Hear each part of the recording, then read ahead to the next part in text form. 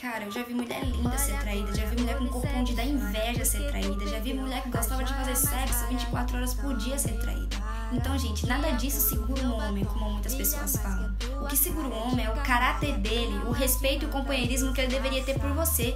Traição nem sempre tem a ver com o que falta no companheiro, e sim com o que não tem no traidor, que é o caráter.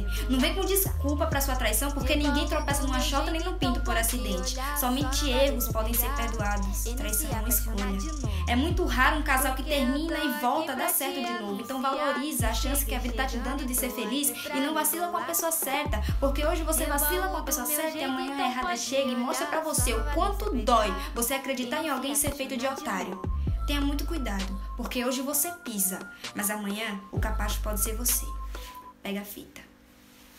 Olha agora, observe e chora porque tu perdeu a joia mais rara. Então repara que a cor do meu batom brilha mais que a sua cara de canalha e não adianta disfarçar. Porque eu tô aqui pra te anunciar que cheguei chegando, tô aqui pra rebolar.